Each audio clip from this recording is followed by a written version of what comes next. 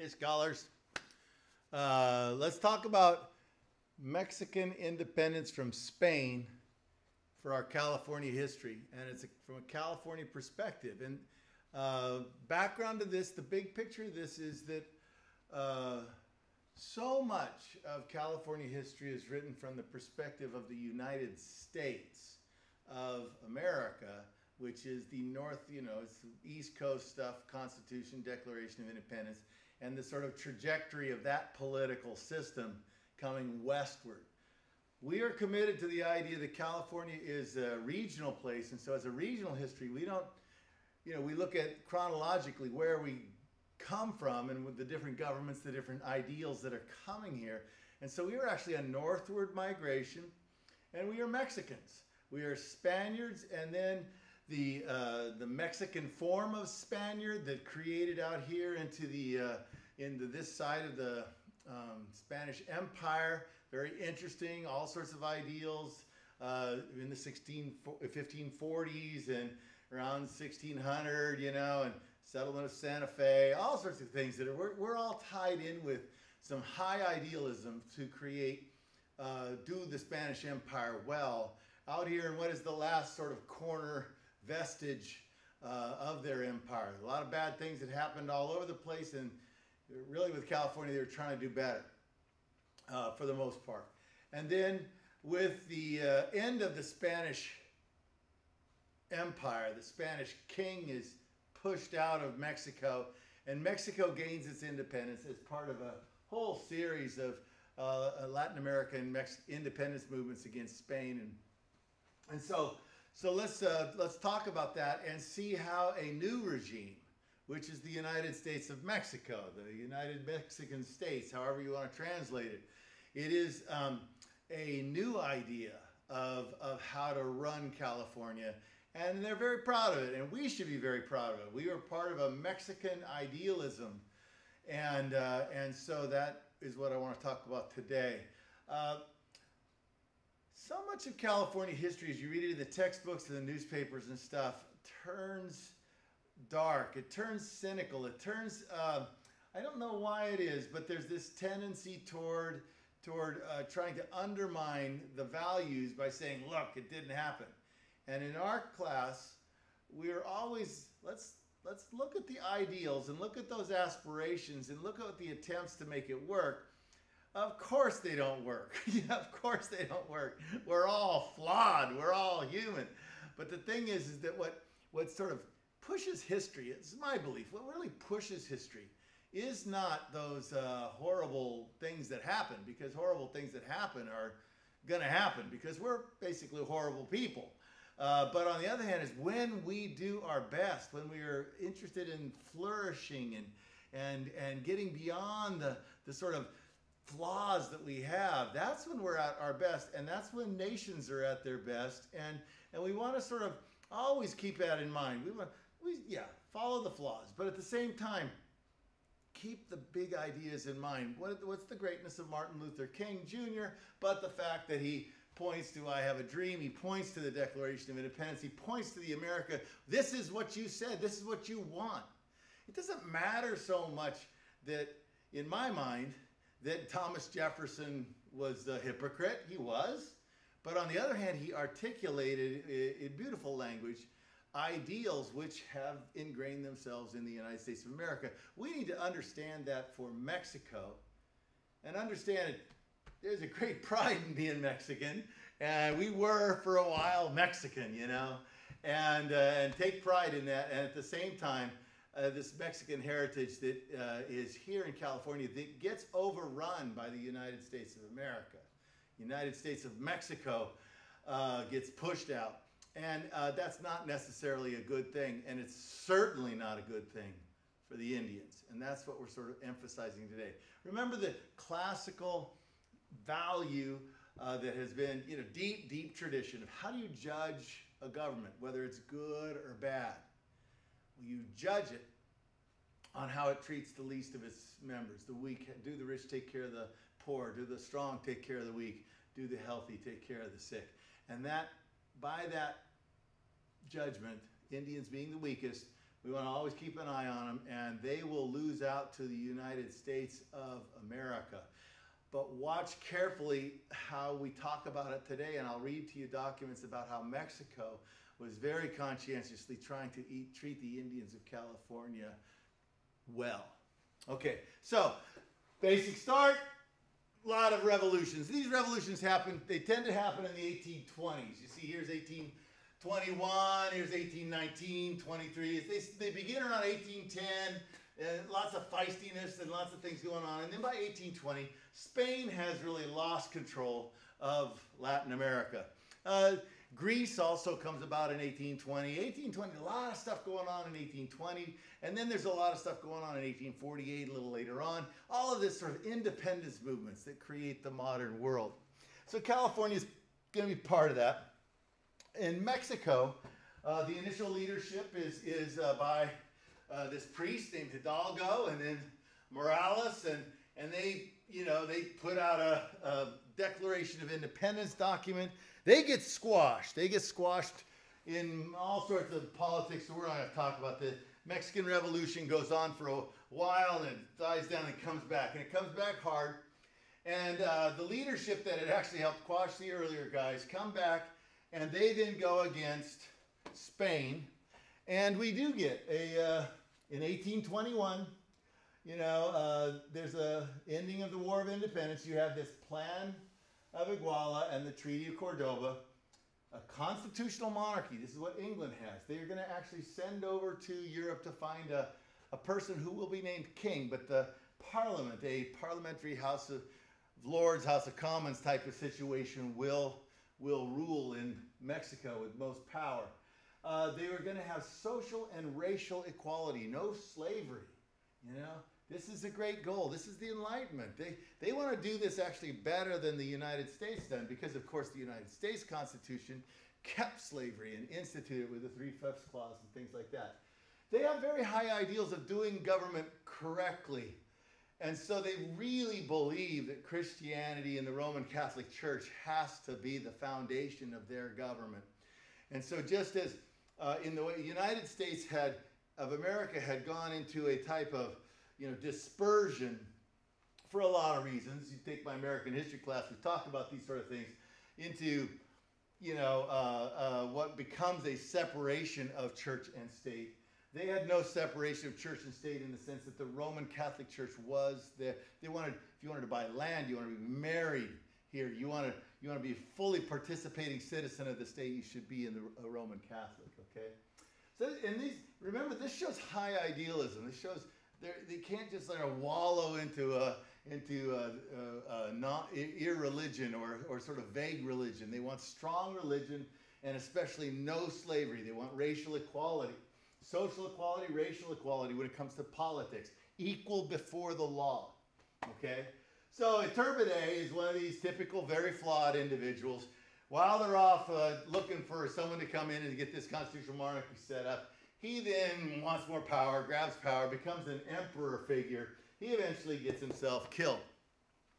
So 1824 is what you need to think about. 18, this is all precursor to, to what's really important. 1824 comes along, and the people who got rid of Iturbide, which is Santa Anna, and this guy here, Guadalupe Victoria, he is going to become the first president of the United States of Mexico, the United Mexican States. Okay? And uh, he is going to be a man of high ideals. He is going to be the guy who is in charge of Mexico and gets things started for California. And that's what we want to talk about, all right?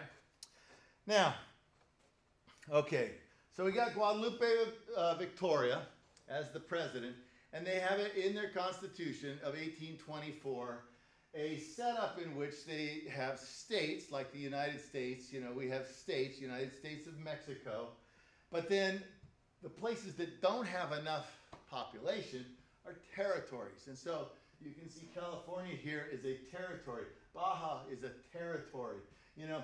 And so with the being a territory, you have a different type of government, much like Puerto Rico is territory to us, Guam, uh, uh, you know, there's, there's, uh, what is those? Those other islands. There's there's different territories, and you know back in the day, you know Indiana was a territory and stuff like that before it became a state. And in the system, you get a territorial governor. So so the jefe politico, the the head chief political officer, is sent up from the capital in Mexico City, and then being a, this new republic, you're going to have your own republican uh, system.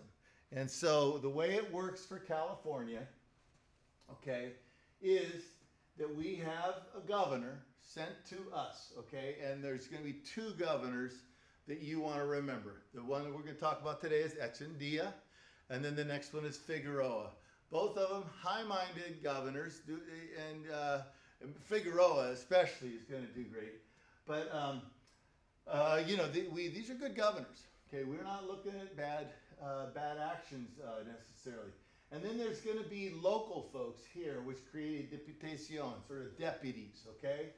And there's seven members. Now, this is one from each presidio. There's four presidios, and then the three pueblos, which is Santa Cruz, Los Angeles, and San Jose.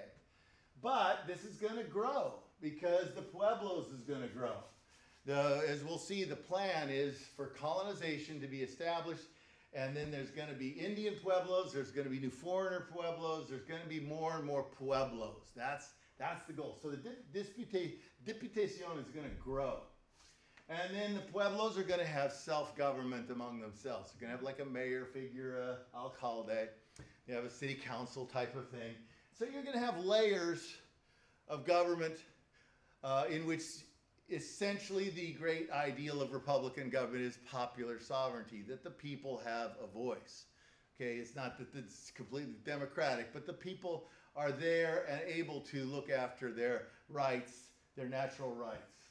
So this is a good system, and the question is how to handle the missions and what to do with them. And so that's what I want to talk to you now about, all right? Is is that uh, there was this junta, which is a group. Victoria calls for this junta de fomento, which is de Californians. Uh, the, I don't speak Spanish, so I don't know how what I'm doing. But the thing is that it's, uh, it's uh, for the formation of the Californias under this new Republican system. And uh, this is, I'm going to give you a translation here. We're going to read from a translation of it. But this is right from the start. Mexico City, wants to make this happen up in up in uh, where we are. You know, you get a. I've read a lot of California history, and, and it's always sad to me when there's this type of portrayal of after the Spaniards had left, there's this belief that the Mexicans aren't concerned about us, the Mexicans aren't doing anything up here, and so we become independent. We become this sort of island, and they use the term Californios we become these sort of like Cal, island of Californios. And then what that does mentally is set you up to be ripe to be quashed by the United States. Uh, if you take that back and sort of rethink it, there's uh, in many ways, uh, especially with Echeandia and then later with Vic, uh, Figueroa, colonization is a project. They're working at it. It's taking time. It's, but it's going to happen, and, and things are working, okay? Um, so uh, don't fall into the trap that, uh, that Mexico just didn't care about us or didn't know we were going on up there. They're, you know, I'm not trying to create an idealistic system that everything worked well, but I just don't want you to fall into the trap of thinking that, that uh, you know, the United States of America had sort of a right to come take this wallowing place, California, that had nothing going on here. We had a lot going on here, and we were on a project, a project to do a type of government which I think you can argue is better than the United States of America, this 1824 Constitution, if it works out correctly. Okay, so the uh, um, let me get over to this, and uh, so you have this this is the document in translation here. And I want to show you just some parts of it. Okay? Uh, this is the language of it. Uh, if then he is to act in a manner which is the efficient and fruitful of the results, and he's talking about the, the jefe politico, the chief officer they're going to send up there, the new governor. It is sort of orders to the new governor. The new chief of California needs to the most positive instructions to direct him. You know, this, this is a document to dis- direct him in positive ways, while a beneficent and wise law drastically reforms the system set up by the Spanish. So it's going to be a beneficent and wise set of laws that the Mexicans want to create under President uh, Victoria to develop California. Okay? Um, so, uh, therefore, uh, the junta, this group writing the document, believes it very important that the chief shall take into account that the mass of the population of California is heterogeneous. There's lots of different people here. And it's composed, and he talks about these different parts of the, the population.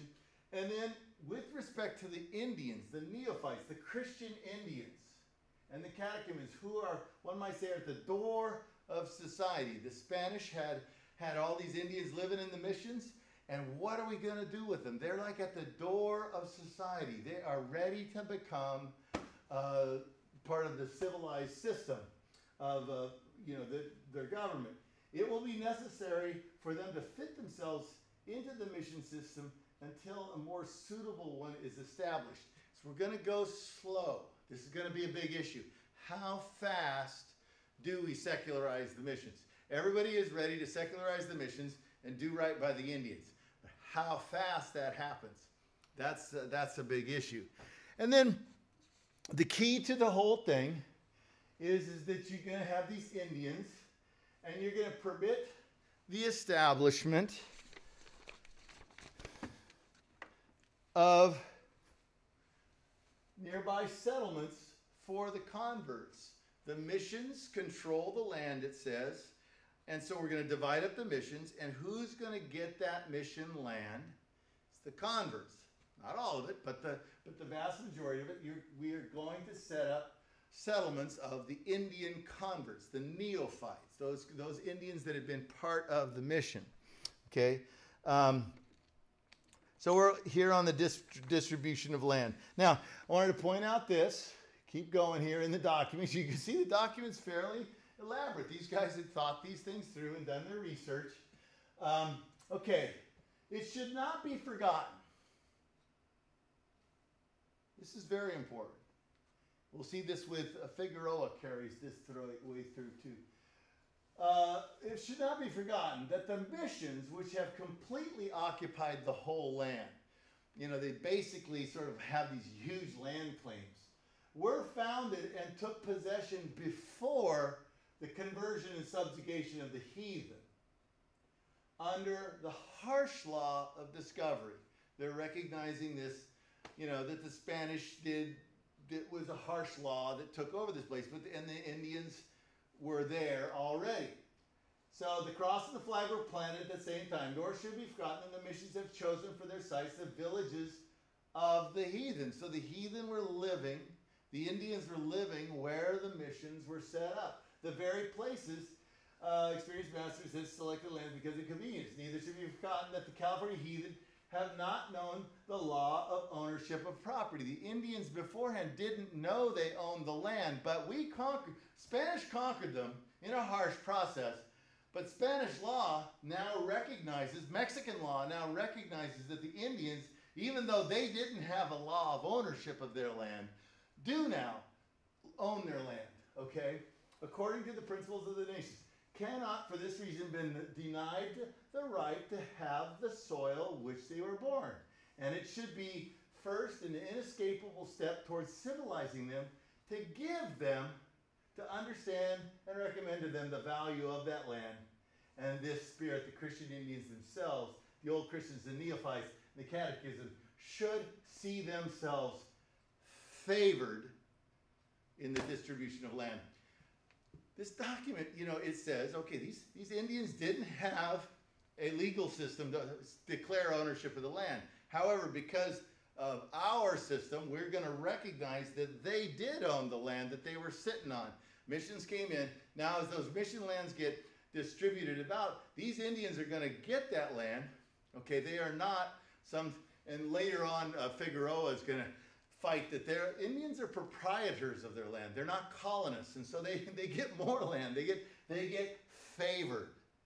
Okay, they get favored. So we're going to give favoritism to these Indians so that they get started up correctly, creating more pueblos, and then these pueblos would be part of the system of, of government in um, uh, Mexico. Contemplate it. Think about it. You have probably heard fourth grade California history. So much. California history just, you know, it just saddens me how uh, how harshly it is taught. And so often you hear that the Indians were just, you know, removed from their land. And there is great truth to this, and but you have to be subtle and careful with it.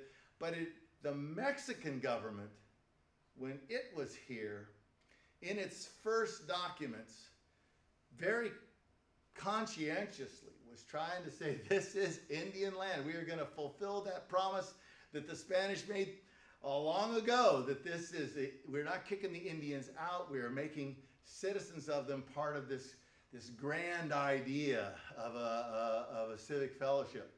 Now, the United States is going to come in and the and during martial law, talk about this later, but during uh, the period of martial law, before we become a state, after the gold rush, is the General Mason declares that Indians do not own land. So United States walks in and says, Indians don't own any land. That's a huge, huge difference. United States brings in slavery. United States takes away Indian land. Uh, California is racked by this, and I uh, we'll t- deal with the American thing, and, and uh, America is gonna, United States is gonna do uh, uh, do a lot of good here and stuff like that. I'm, I'm not trying to bash the United States, but I am trying to uplift Mexico. I think we need to recognize that not only do we steal the land from Mexico, we also really screwed up the system. Okay, Mexico was in working toward this kind of stuff. Alvarado, uh, who's the later government, sort of, Pio, Pio Pico, you know, we, we get some bad things happening. But if the trajectory had kept going and the documents kept standing, like this one does, um, Indians would have been better off. Okay, so uh, let's go back here and finish off. And uh, yeah, this is that. All right, so this is the guy who's sent up to California. His name's Echeandía. Like I said, Echeandía or Figueroa are two governors you should remember. Echeandía is sent here. Uh, he's governor for a, you see, a, a fair long stretch here. And then one year he's out, and then a fair, you know, this these two years here, and then you see Governor Figueroa is going to come in, and he's got to deal with a lot of problems uh, feisty population, all sorts of stuff. And um, our goal, our, what you should know, is is that he is trying to do a good job. Okay, uh, he's he is uh, um, he's not a selfish person in the sense of what you're going to run into with Pio Pico later on in class. Uh, someone who really is grasping for themselves. So, um, what I want to say here now is just that is as you're driving, all you Los Angelenos, is all you, when you're driving 101 out of Los Angeles into the San Fernando Valley, is you go through Cahuenga Pass, and it's in Cahuenga Pass that there was a, um, Echeandía, the next governor came in. The people didn't like him, and so Echeandía and that governor have a little tiff. And in that tiff, they sign a sort of treaty among themselves, and Echeandía becomes governor again there at uh, right at the Hollywood Bowl. You know, right near there, there's a, an agreement. That's the pass that takes you over from San Fernando Valley into Los Angeles. That's the that's the route that everybody takes. And so, in this sort of like Northern California struggle, uh, is uh, brought back as the as the governor for 1832, 1833. So, close off, uh, just real quick. We are Republican Federalist system, Federalist meaning layers. These we are Roman Catholic and we're politically egalitarian. A very high idealism in all of this. And, and the fact that it's sort of Enlightenment Republican plus Roman Catholic is, is it gives it a sort of really cool edge when you think about it. And then they've got some instabilities they've got to face up to and hard problems. But that's what all countries do. And Mexico is going to do something with California and has uh, this, as this document points out, there's a colonization colonization plan, and there's also um, plans for uh, eventually lots of pueblos, lots of pueblos, uh, and there'd be lots of self-governance and lots of good things going on in California.